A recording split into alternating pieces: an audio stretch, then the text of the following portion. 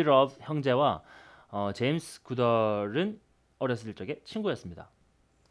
네, 어쿠스틱 좀 아는 남자들의 기타 리뷰 어쿠스틱 타임즈 지금 시작하겠습니다. 네, 되게 흥미로운 그런 이야기를 들었는데요. 그렇죠. 네, Goodall 기타 여러분들 뭐 아시는 분들은 아시겠지만 네, 초호화 소량으로 기타죠. 생산되는 초호화 하이엔드 어쿠스틱 기타 브랜드 중에 또 대표 모델이죠. 그렇죠. Goodall. 네, 근데 이 Goodall이라는 기타도 뭐 대부분의 그런 하이엔드 기타들이 그렇지만 다 사람 이름이잖아요. 맞아요. 다 뭐 그 master luthier 이름을 따가지고 그렇죠. 만들었고 Breedlove 같은 경우에도 이제 레리 브리드러브와 킴 음흠. 브리드러브 형제가 네 처음에 이제 레리 브리드러브가 만들고 그 다음에 자기 형을 불러온 뭐 그런 브랜드인데 그 대표적인 어쿠스틱 기타의 그 두 브랜드의 luthier들이 어렸을 적에 친구였다라는 친구였다. 되게 흥미로운 이야기를 들었어요. 이 1960년대 동네 little 야구단에서 음. 네, 이 형제가 친구를 사귀게 됐는데 그 친구가 바로 어, 현재 구돌 기타의 설립자인 음. 제임스 구돌이었고요. 그리고 구돌의 어머니가 미술을 가르치셨다고 해요. 음. 근데 이 브리드러브 형제랑 제임스 구돌이 구돌의 어머니로부터 미술을 같이 배우면서 아. 야구도 같이 하고 미술도 같이 하고 그러면서 더더욱이나 돈독한 관계를 그때 당시에 유지했다고 하는데요. 어, 이 브리드러브의 inlay가 굉장히 그 화려한 그런 막 나무 같은 것도 있고 지금 이런 것들도 아주 뭔가 문양 자체가 되게 그렇죠. 독특하고 멋있잖아요. 거기다가 이거보다 더 화려하게 칠해져 있는 그런 inlay들도 되게 많고 그런 것들이 이제 구돌의 어머니로부터 그런 음. 사사한 미술성이 영향을 미치지 아닌가? 않았느냐라는 그런 이야기들도 있고요. 그리고 킴 브리드러브가 어, 순수 미술로 학사 석사까지 받았다고 어, 해요. 그렇구나. 네, 그 형이 네 그렇습니다. 어, 그러니까 막 inlay가 용도 있고 그 아. 말도 있고 옛날에 우리 그 그 우리 어렸을 때 보면은 네, 그 어른들 SF 같은 그 자개장 있잖아요. 아. 아, 우리 딱 우리나라 그 자개장 뭐 우리나라 자기 그 네, 봉황 이런 거, 같은 네, 거 이런 거 네, 어. 자개장 그때 당시 혼수로 맞아. 필수였던 어. 그 옛날에는 집에 다다 자개장동 하나 있었죠. 있었잖아요 용 있었고 안방에. 마- 맞아요. 호랑이 그렇죠. 있고 막 이런 거. 그런 거 같은 문양들이 굉장히 많은데요. 어. 그리고 또 이 브리드러브의 시작에서 또 재밌는 게밥밥 테일러 테일러 어. 기타의 장시자인 또밥 테일러와의 또이네그 인연을 또 어. 네, 빼놓을 수가 없는데 이게 어, 레리 브리드러브가 어, 1990년까지 테일러사에서 밥 테일러와 같이 음. 일을 했다고 합니다. 근데 브리드러브를 이제 설립을 하기 위해서 레리 브리드러브가 스티브 핸더슨이라는 이제 또 luthier와 함께 독립을 해서 열심히 이제 만들어서 브리드러브를 만들 때 초창기에 도움을 되게 많이 줬다고요. 밥 테일러가. 음. 밥 테일러가 이제 뭐 CNC 머신도 막 어, 추천해주고 막 어. 뭐 사무실에서 막 기타 좀 이렇게 만들어 봐. 뭐 얘기를 해주고. 자기 회사 있다 나갔는데도. 네. 좋네요. 근데 그리고 나서 이제 어 브리드러브가 이렇게 한참 또 잘 된 다음에 그리고 이제 일이 많아지니까 형을 부른 거죠. 원래 어. 킴 브리드러브는 뭐 밴조 만들고 뭐 밖에서 다른 회사 하고 아. 있었대요. 근데 형 나 좀 도와줘 해갖고 왔는데 이제 밥 테일러가 야 우리도 좀 도와줘라 다시 바빠졌다 이래갖고 레리 브리드러브를 다시 테일러로 데려가요 이런 아 그렇구나. 어, 이런 뭐 재미있는 그런 일화들이 어. 되게 있더라고요. 그래서 이 어쿠스틱 명가들의 그 루티어들 간의 이런 재미있는 어. 또 뒷이야기도 있으니까 재밌네요. 되게 네, 재밌어요. 이런 것도 또 관심 있으신 분들 찾아보시면은 서로 서로 이 영향을 주고받은 그 브랜드의 그렇죠. 런 사운드 특성과 이 실제 인간 관계의 이런 뭔가 연속성을 찾아볼 수 있는 서로 간에 관계가 있을 수밖에 네, 없어요. 그렇죠. 네, 그럼 사운드에도 분- 분명히 그게 생길 그렇습니다. 거고요. 네. 그런 재미있는 어, 야사가 되지 않을까 음. 생각을 해봅니다. 어쨌든 오늘 어, 브리드러브 형제와 제임스 구돌은 네, 친구였다. 친구였다. 네. 이런 빛나라 지식의 별 같은 네, 그런 이야기를 한번 해봤고요. 네, 브리드러브의 Exotic King Koa 모델인데요. 방금 말씀드렸던 이제 브리드러브 형제와 아까 그, 그 핸더슨 있잖아요. 그 master luthier 세 명이 이제 각각 하나씩 그 라인을 담당하고 있어요. 최고가 라인을. 음. 그 라인에 대해서 설명을 한번 해드리도록 하겠습니다. 네, 브리드러브 Exotic 음. King Koa잖아요. Exotic 시리즈가 세 가지 heritage 모델이 있어요. 음. 그래서 레리 브리드러브 아까 음흠. 그 창립자 동생 어, Exotic finger stylist가 음흠. 있고요. 그리고 테리 마이어스라는 또 음, luthier가 만든 익조틱 CM 클래식이 있고요. 그 다음에 킴 브리드러브 형이죠. 음. Exotic King Koa 이거 형이 만든 거예요. 아. King. 네, 우리 미술 학사 석사 따죠.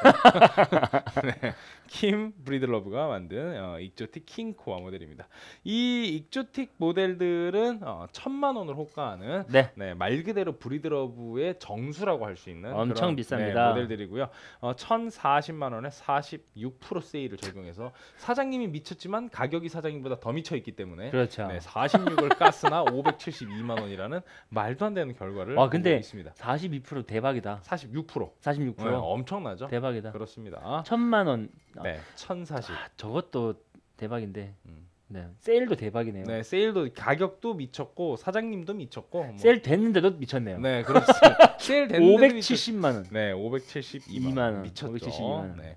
아, made in USA 전장 104cm 그리고 두께는 110mm, 12 fret 둘레가 75mm, auditorium shape 가지고 있고요. top과 body가 모두 koa입니다. 지난 시간에 했던 우리 K14 같은 경우에는 굉장히 짙은 색상의 koa를 보실 수가 있었는데요. 그렇죠. 여기는 아주 밝은 색상의 koa를 보실 수가 있습니다. neck은 혼두라스 마호가니에요. 브리드러브에 혼두라스 마호가니 물량이 꽤 있죠. 음. 가끔씩 혼두라스 스펙으로 많이 출시가 되고 있습니다. 지판 African ebony 사용하고 있고요. 그리고 machine head에 Gotoh 510 gold ebony 버튼 음, 아주. 고급스러운 네 일단 그 딱 보기만 해도 어, 초호화 외장재라는 느낌이 네, 드는 그럼요. 네, 그런 어, 튜너 tuning machine을 보실 수가 있습니다. 그리고 너트 너비 44.45mm로 역시나 finger style 하기 적합한 다소 넓은 너트 너비를 가지고 있고요. 20 fret에 스케일 길이 648mm, LRX N썸 스루 Tru Mic 네, 픽업이 장착이 되어 있습니다.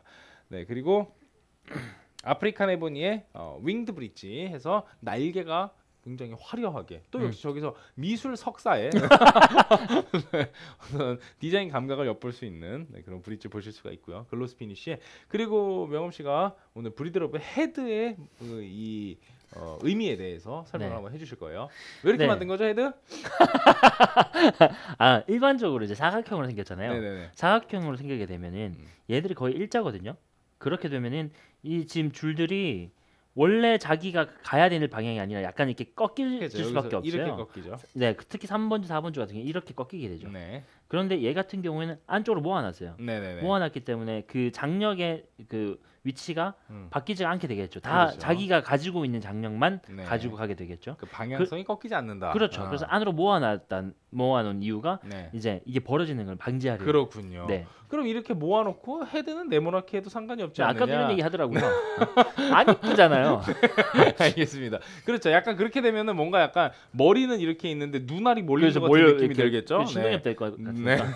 근데 이거는 딱 그냥 뭔가 적절하게 그냥 자기 그렇죠. 예, 그냥 뭐 여기에 맞게 예쁘게 세팅이 잘 된 느낌이에요. 음. 그래서 Breedlove의 헤드가 그냥 무조건 특이하게 만들려고 이런 게 아니고 어떤 그런 사운드적인 그런 그렇죠. 목적이 분명히 있다라는 음. 걸 여러분들이 알고 계시면은 좀 더 이 특이한 느낌의 헤드를 보면서도 그런 어색함을 좀 줄일 수 음. 있지 않을까. 아 이만저만 해서 저렇게 했구나. 아, 저렇게 했구나. 저게 다 어, 의미가 있는 거구나. 음. 생각해 보면 우리 원래 이렇게 이렇게 꺾이는 거는 예, 이렇게 좁은 길로 가다가 톨게이트 넓어지는 그렇죠, 느낌이잖아요. 그렇죠. 약간. 이렇게 돼 있잖아요. 네, 이렇게 느낌인데 이거는 그걸 이제 좀 최소화한 네, 거죠. 최소화한 거죠. 그대로. 교통체증을 최소화하는 네. 하이패스. 네, 그런 느낌입니다. 네, Exotic King Koa 이렇게 스펙 한번 쭉 살펴봤고요. 무게 달아볼게요. 약간 무게가 다소 이거는 좀 있는데, 자. 그래요? 아 우리 먼저 해야 되는구나. 네, 많이 줬네. 아니요. 08과 114. 많이 차이나는 안 많이 차이는 안 어, 나네요. 저는 아까보다 확 무겁더라고요. 그래요? 자신 없어요. 아우! 와, 와, 이, 이, 이, 이 형 오늘 큰일 났다. 이거 무섭다. 2.07. 야, 2연속 퍼펙트 맞을 뻔했네. 2.0. 이게 더 얄밉네. 야, 2연속 퍼펙트 맞을 뻔했는데 그냥 네, 1배판으로 계속 가고 참네. 있어요. 네. 사운드 들어보겠습니다. 야, 약간 무겁긴 해요. 네. 네, 천만 원짜리 어떤 네, 점 와, 궁금하네요. 네. 음. 들려요? 어, 네.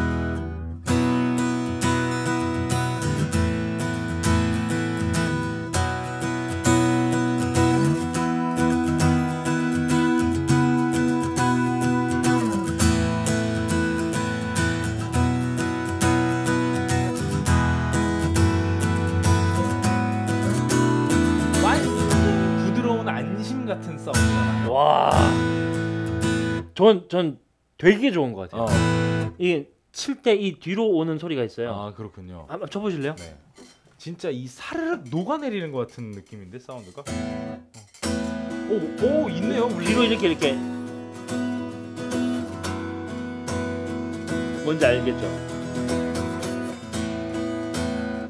이게 이렇게 이렇게 뒤로. 오는 게 이게 있어요. 근데 앞에서 들으면 엄청 부드럽지 않아요? 네, 훨씬 그죠? 훨씬 그죠? 부드러워요. 이게 치는 거랑 듣는 거랑 소리가 약간 다르네. 어. 그러네. 그죠? 되게 부드럽죠. 그러네. 근데 이게 치면은 힘 있는데. 이쪽으로 되게 엄청 오네요. 네, 힘이. 힘 힘이 네. 있어요. 이게 좋네요. 그래서 강일 씨가 이게 뭐라고 얘기했냐면은 소 이게 나무가 나무가 정체성이 너무 강해 갖고 소리를 먹어 가지고 소리가 힘이 없이 아. 느껴진다고 강일 씨가 이거를 모니터하면서 얘기를 해줬었거든요. 아. 그러니까 나무가 정체성이 워낙에 세다 보니까 이 밖으로 나오는 소리는 엄청 부드럽게 들리는데 우리한테 직접적으로 전달되는 사운드의 어택이 울림은 또 예, 굉장히 커요. 있어요. 그래서 실제로 내가 이걸 치고 있을 때는 되게 힘 있는 것처럼 느껴지는데 실제로 앞에서 들으면 엄청. 야들야들하고 부드럽게 느껴지는 게 되게 특이하네요. 난 베이스 이렇게 웅웅 응, 오거든요. 그죠? 저도 쳐보니까 명엄 씨가 무슨 얘기 하시는지 그죠? 알겠네요. 네. 쳐봐야 하는 거. 그렇습니다. 이건 되게 좀 독특하네요. 감성이. 좋네요. 이 전면부의 감성과 후면부의 감성이 상당히 달라요. 앞뒤가 다른 사람인데. 네, 그러네요. 네. 네, 핑거 사운드 들어보겠습니다.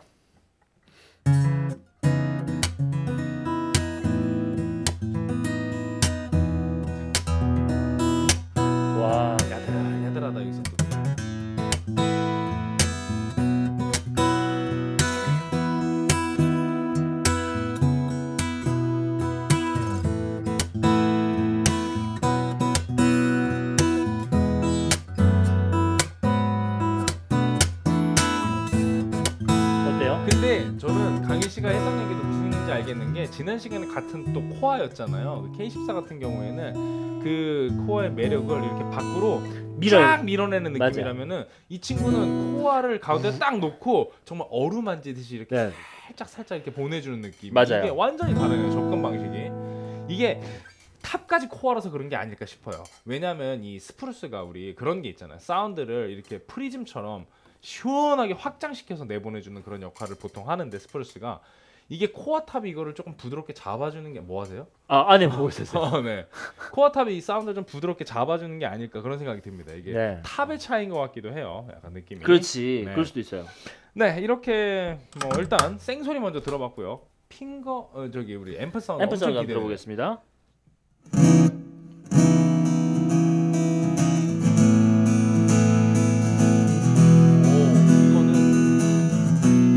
진짜 좋다. 이거 소리 좀 줄일게요. 이거 아마 느껴지시는 것 때문에 더 그럴 거예요. 아, 그런가? 이거 밖으로 들으면은요, 엄청 그냥 정말 부드럽고 말랑말랑. 자글자글한, 네, 진짜 배음 많은 소리. 아. 아,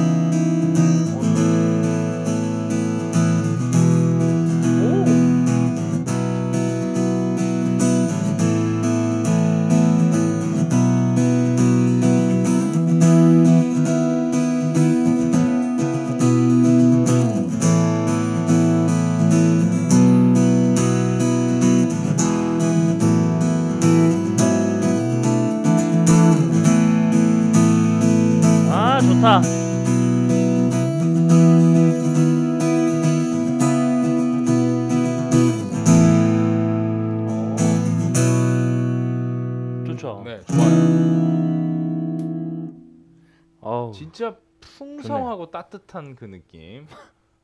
어, 좋아야 돼요. 좋아야죠. 좋아야 돼요. 이거는 들을 때마다 우와 소리 나와야, 나와야 돼요. 가격이에요. 맞아요. 네, 핑거 음. 들어볼게요. 핑거 사운드 들어보겠습니다.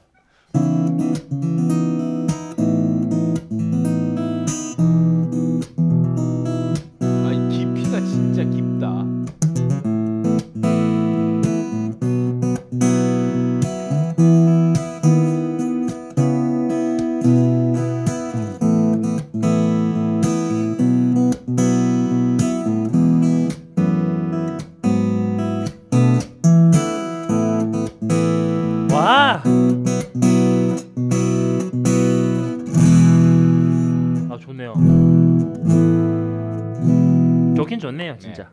그렇습니다. 근데 어, 여러분들이 잘 생각하셔야 될 게 이제 감성의 그, 그 성향이 완전히 달라요. 테일러가 아, 맞아요. 이제 우리가 지난 시간에 했던 어, 그 킹코아 모델 어, 지난 시간에 했던 우리 K14 모델이죠. 그렇죠. K14 모델이 어, 가운데 쫄깃한 그 코어를 두고 그 배음들을 이렇게 양쪽으로 확 펼쳐낸 느낌이라고 음. 하면은 이거는 코어를 깊이감으로 밑으로 쭉 떨어뜨리고 네, 그렇죠. 맞아요. 전체적으로 풍성하게 싸기는 쌌는데 하이를 든 느낌으로 싼 게 아니고 맞아요. 전체를 이렇게 전체, 감싼 전체. 느낌이에요. 그래서 아주 깊은 깊이감이 느껴지고요. 그리고 맞아요. 풍성한 느낌, 시원하고 샤한 느낌이 아니고 정말 풍성한 느낌을 막 뿌리는 있습니다. 느낌 아니라서. 네네네 네, 그렇습니다. 맞아요. 네.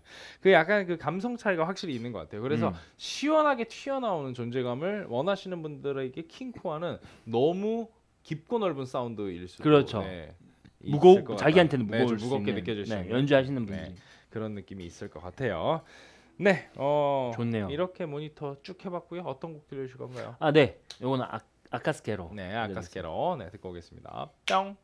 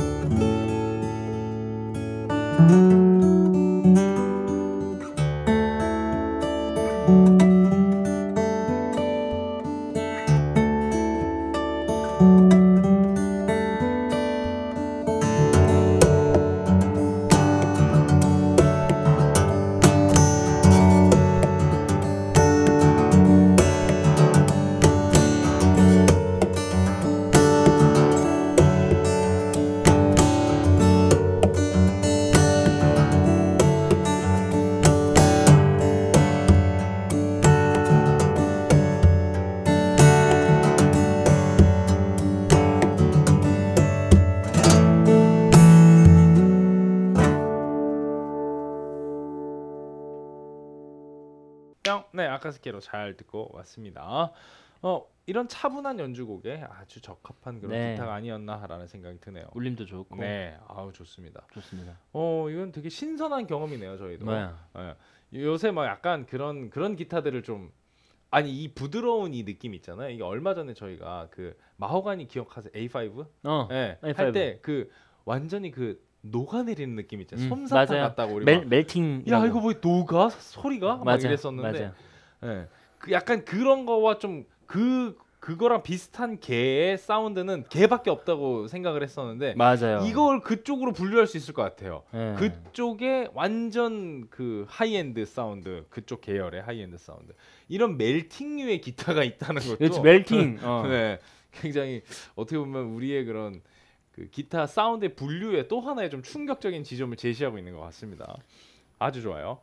네 시청자 한 줄 평 하나 드릴게요. 529화 Fishman 어쿠스틱 preamp Aura Spectrum DI 음흠. 모델이었는데 여기. 협박님 네.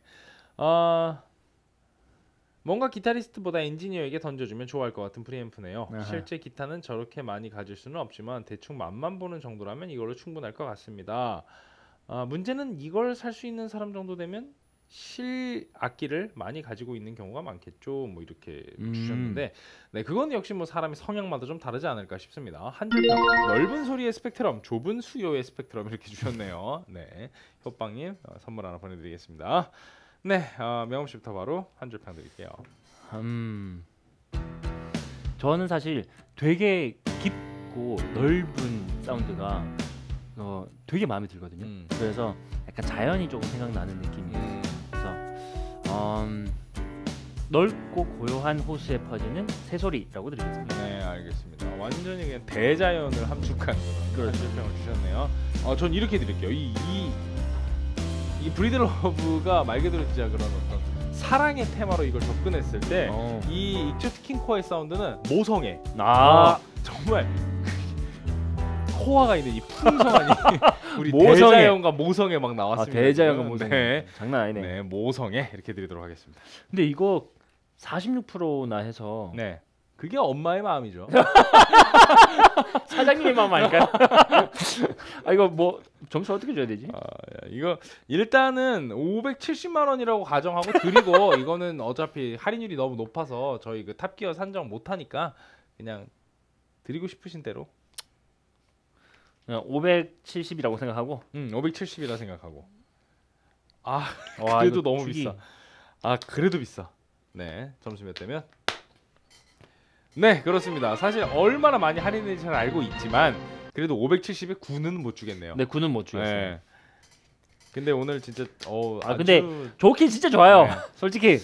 아 주 좋은 경험이었어요. 네. 엄청 좋아요. 네, 진짜 못 들어본 사운드의 끝판왕을 들어본 느낌입니다. 아 밸런스는 끝장나고. 네.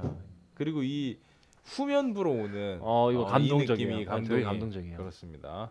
아, Exotic King Koa 진짜 king이라는 이름을 붙일 만한 그런 기타였습니다. 네, Breedlove의 정수 그리고 우리 Kim Breedlove 형의 네, 그런 그렇죠. 어떤 어, 미술적인 조예와 어, 루티어로서의 어, 역량을 고스란히 느껴볼 수 있는 그렇죠. 그런 시간이었습니다. 네, 다음 시간에는 또 또 비싼 기타예요. 오늘 진짜 이렇게 다 비싼. 거네? 야마하인데 어, 25% 할인이 적용된 가격이 421만 원이면은 이거는 또 아휴 정말 예. 그렇습니다. 요새 클래식 기타 뭐 그 우리 Cuenca 네. 200만 원, 100만 원대 중후반에서 200만 원대 하면서 아 이 원래 여기는 없죠. 원래 100만 원대 밑으로는 야마하가 다 하고 그렇지. 어, 여기는 빈 자리였는데 아 막 이러면서 야마하의 그 100만 원대 밑에 모델들을 계속 우리가 얘기를 했던 야마하에서 야 여기도 있거든 이러면서 딱 어, 보여주는 느낌이 좀 있습니다. NCX 2000 FM 25% 할인해서 421만 9천 원. 야마하의 high-end의 세계로 다음 시간에 또 어, 여러분들을 초대하도록 하겠습니다. 다음 시간에 뵙겠습니다. 어쿠스틱 타임스.